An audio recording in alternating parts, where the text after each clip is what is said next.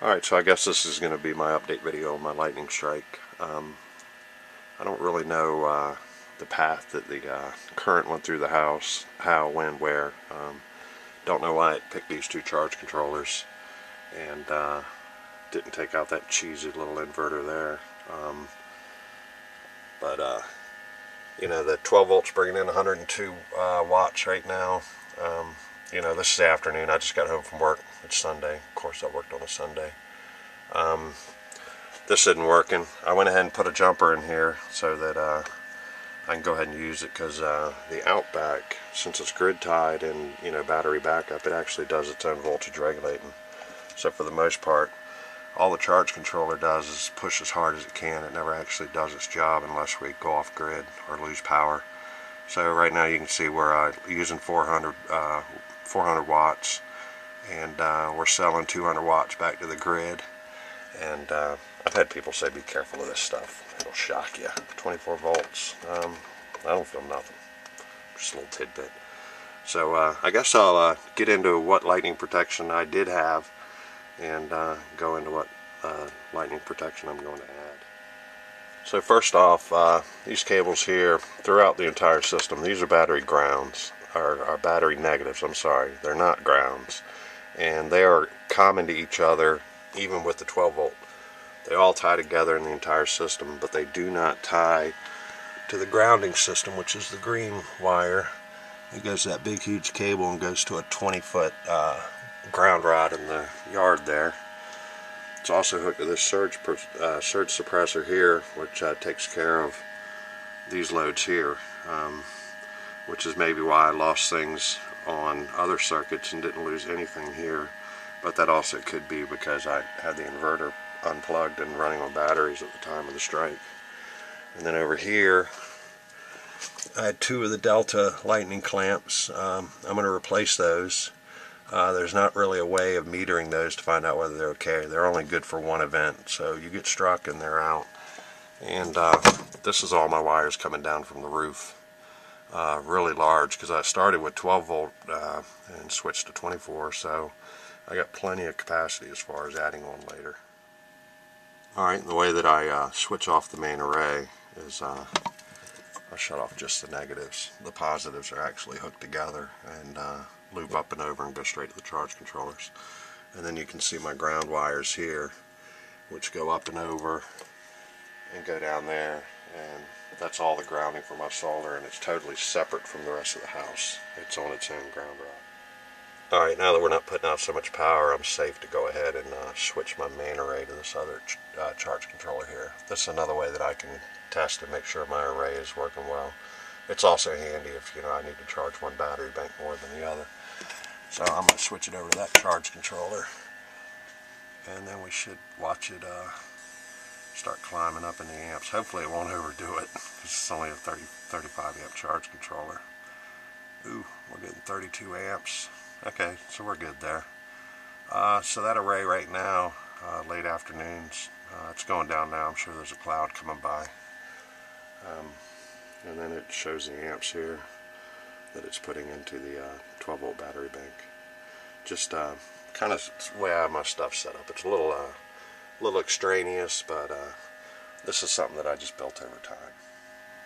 Just thought I'd tag this on. Uh, we're up to 424 watts, uh, 32 amps. So we're only 3 amps away from overdoing this charge controller.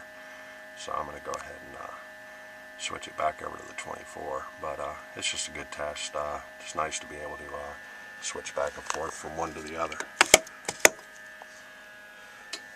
And off it goes and then it starts transferring the power right back here again. And you can see it starting to switch.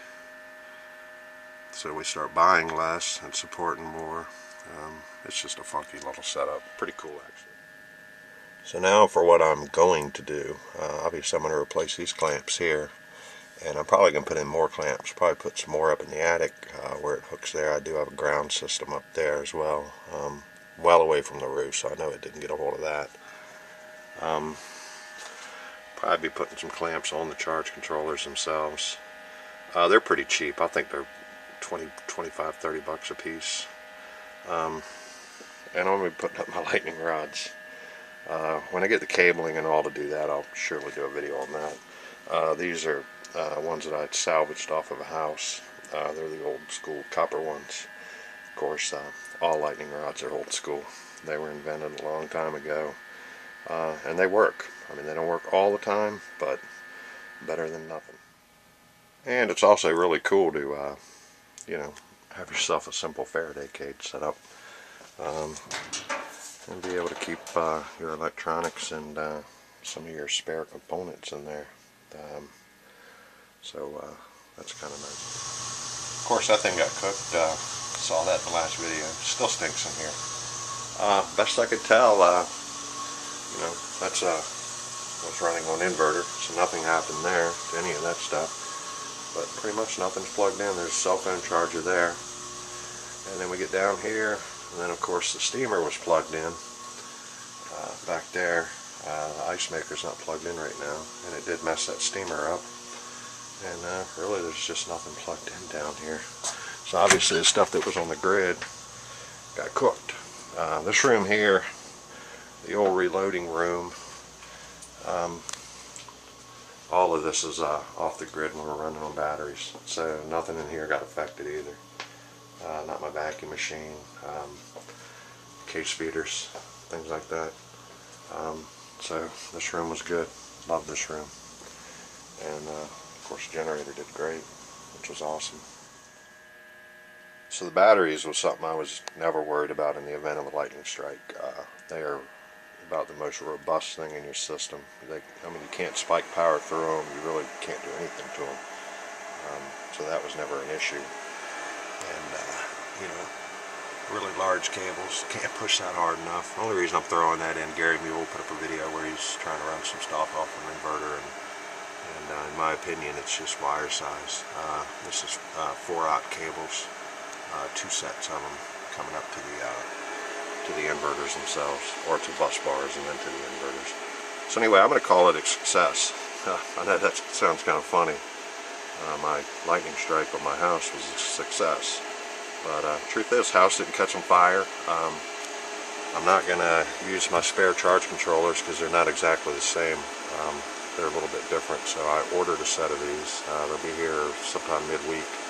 And I went ahead and uh, just bumped it up to the C60 charge controllers uh, just for a little more capacity in the future or just another charge controller to get blown up in the future. That's pretty wishful thinking, huh? But anyway, I think it was a success. Um, I did have a $1,000 deductible on my insurance, so I'm really uh, not going to go anywhere there. Uh, most of this will be out of my pocket. But, um, you know, hey, it's live and learn. Um, you can't always predict what your system's going to do, uh, especially in something like a lightning strike.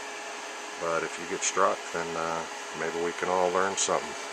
So uh, remember to just do everything you can to uh, protect your stuff and, uh, and it'll all work out. So uh, I appreciate everybody's kind words, concerns, all that. Um, it was crazy. It's pretty wild to be here. I was lucky to be here because I'm usually never here. And um, other than that, uh, when I put them lightning rods, I'll get up with you. And I also still owe a bunch of guys waiting on a video about charging parameters, charging batteries and all that. Uh, something that I found to be the most confusing thing when it comes to solar is uh, batteries and charging them, maintaining them, things like that.